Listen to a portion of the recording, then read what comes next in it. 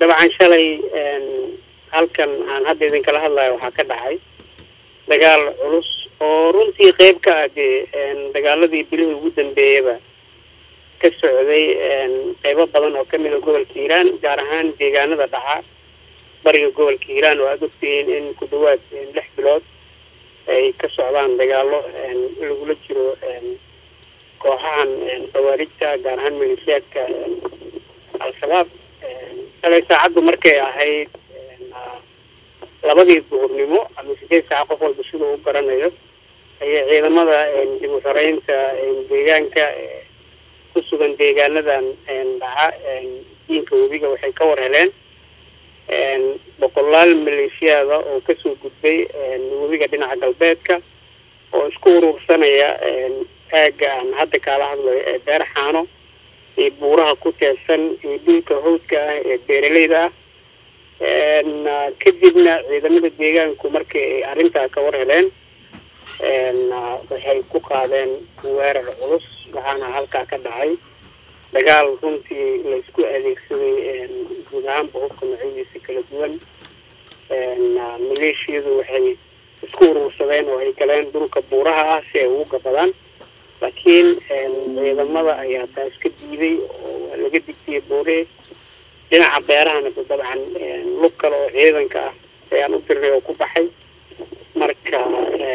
dagaal adiga ku dhawaad saddex saacadood oo xiriira socdaa aa meesha ka dhacay waana laga guulaysto. Hadda waktigaan aan kula hadlayo ciidamadu waxay ku sugan yihiin dhammaan aagagii shalay lagu dagaalamay. Dabcan maleeshiyaadkii soo gudbay shalayna waxaa naloo sheegay ilaa xalay inay ka gudbayeen webiga iyagoo dib ugu gudbay deegaanada dhinaca galbeedka gobolka hiiraan oo weli ay fadhiisano ku leeyihiin marka deegaanadii lagu dagaalamayna hadda ciidamada deegaanka gacanta ku hayo nabadgelyaduna aada u wanaagsan tahay waxa keliya hadda laga shaqeynaya waxa waaye in bal laga soo jignaado haddii ay jiraan miinooyin ay dhulka ku aaseen dee dhagartooda waa iska garanaysaan oo marka dagaaladan ay dhacaan askari iyo shacab iyo qofay u aabeyeelayaan mar dhulkay qaraxyo ku aasaan marka taasun baa hadda ka shaqeynaynaa mooye. Wax kaloo dhibaato hadda deegaanka ka jiraan ma jiraan waa nabdooyin. Madaxweynaha jamhuuriyadda mudan xasan sheekh maxamuud waxaan uga mahad celinaynaa horta isaga oo wakti kooban jooga oo xafiiska jooga in runtii dhul intaas la eg maleeshiyaadka al-shabaab laga xoreeyo.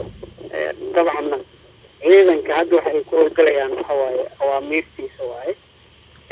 tan shacabka markaan ka hadlaynana. Hadda marka aan ku leeyahay maleeshiyaad ka soo gudbay webiga oo isku urursanaya deegaanada hadda aan kaala hadlayo ciidanku weerar ku qaaday. Maleeshiyaadka laftirkooda cidda noo soo sheegayso meel hebelay ka soo gudbeen halkaasay marayaan dhaawacooda meeshaasay geysteen. Shacabka waaye dee ciidanka iyo shacabkana wada shaqeyn buuxo ayaa ayaa ayaa ayaa ka dhexaysa waxaad moodaa in dadka shacabka ah ay u dhaga nugul yihiin awaamiirta runtii dawladda gaar ahaan madaxweynaha oo khamiistii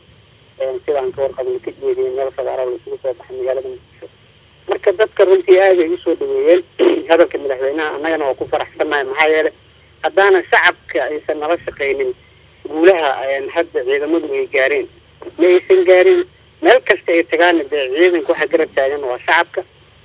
informationka ama ama ama akhbaaraadka ama xogta cidda ay ka helayaan waa shacabka.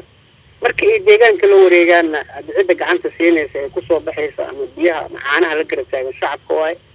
Marka dee hadalka madaxweynuhu waxaad moodaa in dadku uu galay oo oo hadda ay soo jeesteen oo guud ahaanba laga soo jeestay dhibka iyo dhibaatada iyo qaxarka. Muddada dheer ay ku soo jireen oo kooxdan ku hayeen marka runtii madaxweynaha taas uga mahad